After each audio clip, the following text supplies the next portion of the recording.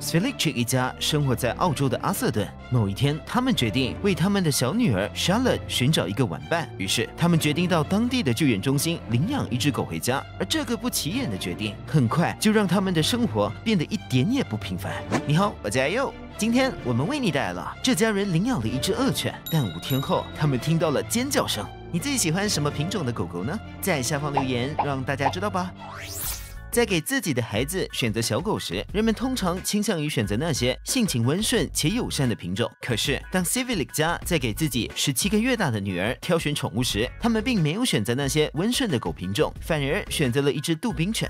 大家都知道杜宾犬吧？虽然很多人都觉得它们很帅啊，有些人甚至把饲养一只杜宾犬列为了其中一个人生目标。但事实上，它们是最常被用来作为军事用途的军犬，拥有一定的攻击性。换句话说，就是它们并没有我们想象中的那么好养。杜宾犬是由 Carl Friedrich Louis Doberman 于1890年在德国阿波尔达培育出来的。当时他是一名税务员，并且经营着一个狗收容所。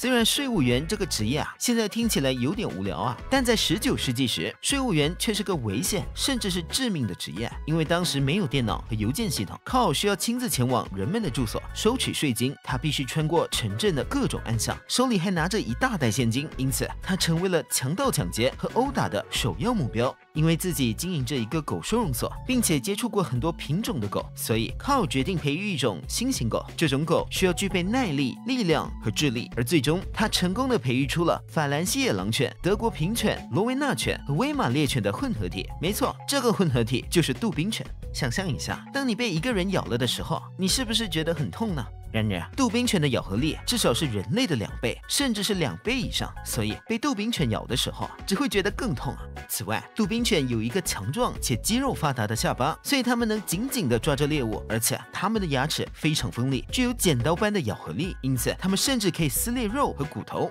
结合杜宾犬无畏和好斗的性格，这种狗会在警察和军事领域中有着非常出色的表现。然而，正是因为这些特性，它们看起来不太适合成为小孩的宠物。事实上 s v i l i c h 家要领养的这只杜宾犬还有着一段悲惨的过去。根据救援中心老板所述，在他们救出这只杜宾犬时，它已经因长时间挨饿而导致体重严重不足。更令人心痛的是，它还遭受了前主人的虐待，身上有几根肋骨都骨折了。也正是因为这些经历，所以人们很难预测这只杜宾犬在新环境中会有怎样的表现。毕竟，在通常情况下，受过虐待的狗会表现出更高的攻击性，并且会对陌生人感到恐惧。可即使知道它有一段这样的过去 s v i l i c h 一家还是决定要给它一次机会。于是，他们把这只狗带回家，并给它取名为 Con。很显然，他们在这只狗身上下了个很大的赌注，只要一个不小心，他们的女儿可能就会有危险。在最开始的时候，他们好像赌赢了，因为看很轻松的融入了他们的家庭，一切看起来都很美好。另外 s v i l i c h 一家也不傻，所以当看出现在小 Charlotte 附近时，他们会时刻留意着他的行为。就目前看来，他们相处的好像还不错。和往常一样，那一天，Charlotte 和 Khan 在后院里愉快的玩耍，同时他的母亲 Catherine 则在家里仔细的留意着他们。可就在这时，Catherine 最担心的事情发生了。根据 Catherine 的描述，当时 Khan 的行为突然变得很奇怪，他开始表现出攻击性，并且不断的推挤 Charlotte，而他的咆哮声和姿态仿佛是在告诉别人他要发动攻击了。于是 Catherine 马上冲了出去，可他的反应还是慢了一步。这时候，Khan 抓住了 Charlotte 尿布的背面，但他并没有咬她，而是抬起头把 Charlotte 扔到了自己肩膀上一米多的位置。小小的幼儿就这样掉在不远处的草地上。看到这个情况，Catherine 马上惊恐地冲过去检查自己女儿的状况。院子里顿时充满了痛苦的尖叫声。不过，这些尖叫声并不是来自 Charlotte，而是来自 Con。听到这个声音之后，Catherine 才看到了潜伏在草丛里的东西，那是一条巨大的棕衣奥蛇，以其强烈的毒性和攻击性而闻名。于是，突然间，他好像能理解 Con 为什么会有这样的行为了。事实上，看很早就发现沙勒身后有一条蛇了。为了避免他受到伤害，看只能不断的推挤着沙勒想让他远离那条蛇。而当他成功救下沙勒时，他的爪子不幸被那条毒蛇咬了，而这就是他之后痛苦嚎叫的原因。在搞清楚状况后 s i v i l y 一家人马上带着 Kan 去找兽医。幸好兽医及时给他注射了抗毒血清，Kan 这才活了下来。直到那时 s i v i l y 一家才意识到，他们差点就要失去女儿了。大家如果不清楚那条蛇到底有多危险，那 IU 就给大家说明一下。棕衣澳蛇是澳洲最大的毒蛇。根据资料，一条大型的棕衣澳蛇在一口咬伤中可以平均释放出高达一百八十毫克的剧毒。但大家以为这样就完了吗？不不不，它们还会反复叮咬和咀嚼受害者，让受害者被咬伤的部位出现很严重的痛感、肿胀和组织损伤，之后还可能会出现局部坏死。被棕衣奥蛇咬伤的致命性也取决于受害者身体的质量，因为这决定了毒液的毒性在受害者体内传播的速度。而作为一只成年雄性杜宾犬，看的体重在三十四到四十五公斤之间，所以它能够承受大量的毒液，并存活足够长的时间来等待治疗。然而，Charlotte 只是个幼儿，体重在八点九到十一点二公斤之间，所以如果它被棕衣奥蛇咬了一口，那么毒液会在它的小身体中迅速扩散，且很有可能在 s v i l i c h 一家赶到医院之前就死亡了。事实证明 s v i l i c h 一家赌赢了，这只杜宾犬也用行动来证明了他们的选择是对的。如今，看不仅被 s v i l i c h 家庭接纳，还彻底成为了他们心爱的宠物狗。哎，又想，这大概是他们这辈子做的最棒的决定了。其实不止看有过如此英勇的救主行为，世界上还有许多狗狗英雄，在自己主人危难的时刻挺身而出。接下来就和 A U 一起看看其他的狗狗英雄吧。没有你可怎么办？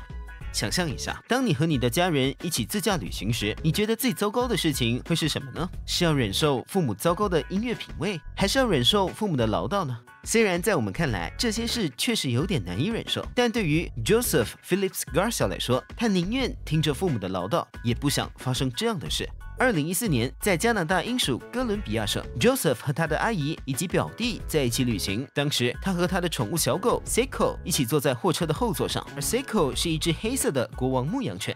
那是一个普通的日子，一家人开心的沿着森林小径驾驶。可就在 Joseph 睡着了的时候，事情突然发生了悲剧性的转折。当时，Joseph 阿姨驾驶着的货车突然失控了，她一瞬间就冲出了道路，滚下一个九十一米深的山坡，并掉到了森林里。在这过程中，由于货车后面没有任何保护措施，Joseph 和 Seiko 被甩出了车外。也正是因为这样，他们竟成了这场事故唯二的幸存者。虽然 Joseph 在车祸中幸存，但他受了重伤，股骨和锁骨都骨折了。虚弱不堪的他根本无法移动或呼救，于是他只能留在森林里，承受着寒冷和饥饿，并且随时都有可能成为各种野兽的美味小吃。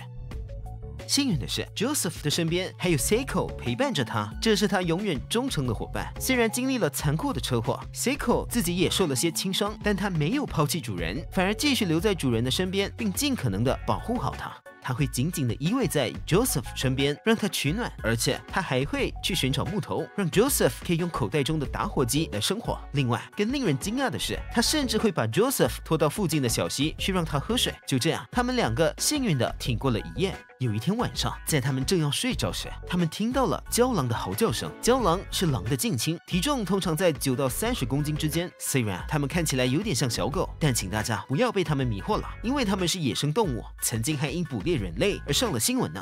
由于 Joseph 还处于重伤状态，所以对郊狼来说，它绝对是个容易捕抓的猎物。当这些郊狼越来越靠近时，Joseph 知道他的时间不多了。然而，就在这关键时刻，Seiko 从他主人身边站起来，并冲进了森林。紧接着，不远处就传来了他们激烈打斗的声音。虽然 Joseph 看不到战况怎么样，但他隐约能听到他们的咆哮和嘶吼声。之后不久，Seiko 就带着脖子上的咬痕凯旋归来了。于是 Joseph 让他躺在自己的身边，他们依偎在一起。然后就睡着了。从那时起，Joseph 的运气开始逆转了。在事故发生了四十多个小时后，救援人员终于找到了 Joseph。救援人员花了大约三个小时，才成功的将 Joseph 和 Seiko 从森林中转移出来。接着，他被迅速送往医院，并进行了好几次的手术。之后还花了好几个月的时间，才终于康复了。那么 Seiko 怎么样了呢？Seiko 好得很，而且他的英勇行为啊也没有被遗忘。在事故发生了近一年后，Seiko 入选了 Purina 动物名人堂。不过在那场与郊狼的勇敢战斗之后，哎呦已经认定啊，Seiko 就是黑色国王牧羊犬的王了。让我们恭喜他！小型狗也是很强的。有些人好像不太喜欢小型犬，因为他们觉得小型犬只会不停的吠叫，不然就是一直在瑟瑟发抖。不过，在看了接下来的故事之后，这些人或许就会改变自己的看法了。在日本宫古市的海边城市，八十三岁的退休老人 Tami Akanuma 正在他的家中与他那十二岁的西施犬 Babu 一起享受一个宁静的下午。但他不知道的是，在那一天，也就是二零一一年三月十一日，这个国家将会遭遇九点一级的地震，而这也是日本有记录以来最强烈的一次地震。地震震央发生在海洋下二十九公里的地方，那里距离日本东海岸只有大约七十二公里。这场地震释放的巨大能量引发了海啸，当它卷向海岸时，它的最高高度达到了可怕的四十点五米。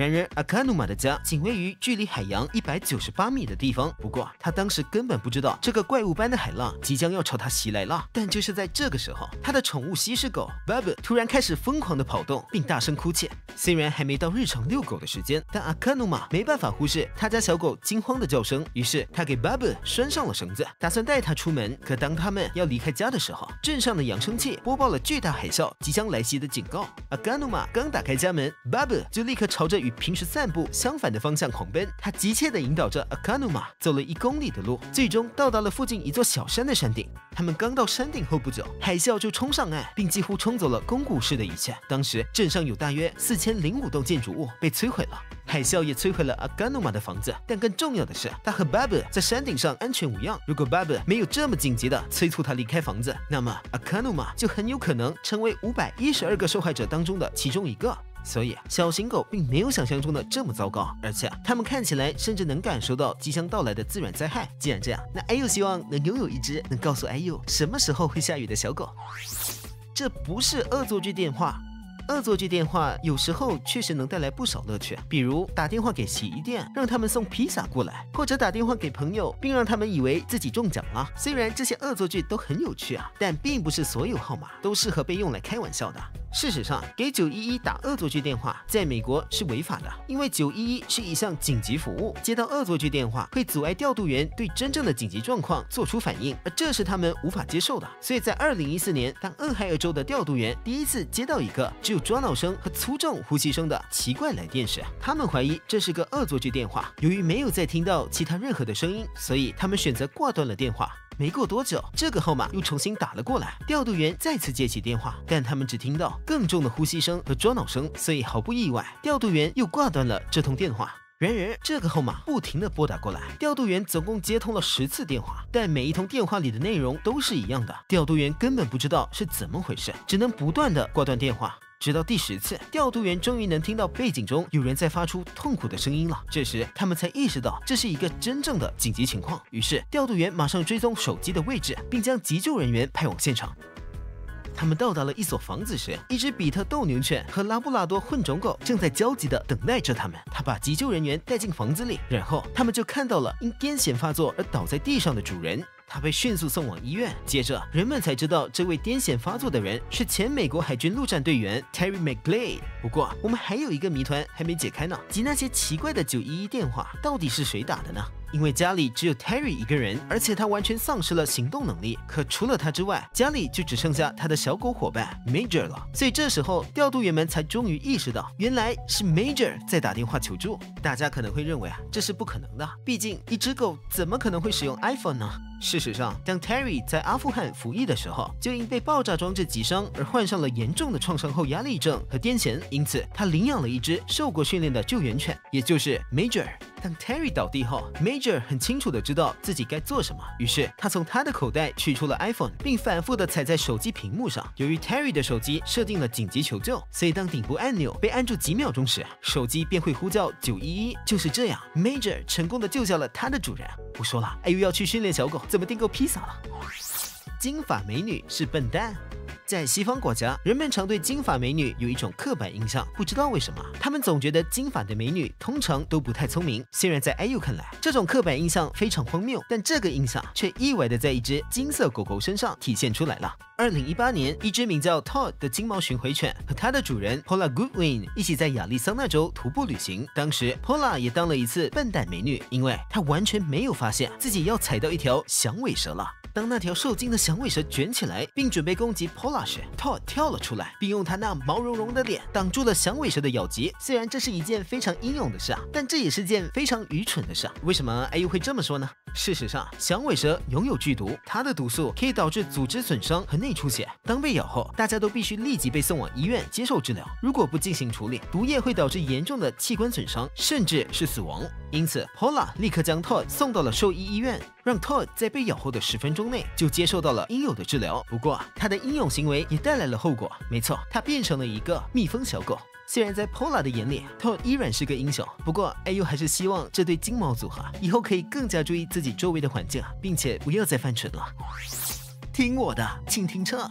维尔纳扎是一个风景如画的市镇，它位于意大利西北部壮丽的海岸线上。但在二零一一年十月，这个小市镇经历了巨大的变化，因为它遭遇了一场巨大的洪水，整个市镇被三点六五米深的泥浆淹没。而就是在这个时候，Pier Paolo Paradisi 和他的小狗 Leo 发生了一件离奇的事。当时，Pier Paolo 正驾着车去上班，而坐在他后座上的是他在一个月前从塞尔维亚领养的救援犬 Leo。在他快要到达目的地时，一场严重的暴风雨袭来，他根本看不到前方的路，所以他小心翼翼地开着车。然而，当车子开始转向悬悬崖时六突然从后座跳到了主人的身上，于是 Pier Paolo 不得不停下车，并开始生气的训斥六。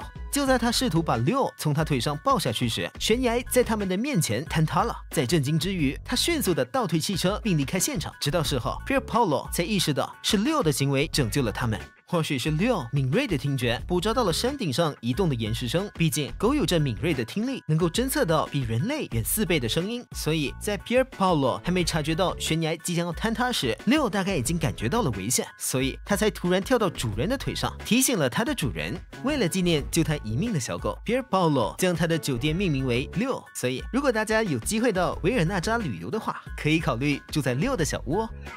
你最喜欢什么品种的狗狗呢？在下方留言让大家知道吧。希望你会喜欢这一集的影片，别忘了在影片下方按个喜欢，也可以订阅这个频道和接收通知哦。如果你喜欢这一集的影片，也请分享出去吧。感谢你的收看，这里还有一些影片，我们认为你会喜欢，我们一起到下一个影片脑洞大开吧，拜拜。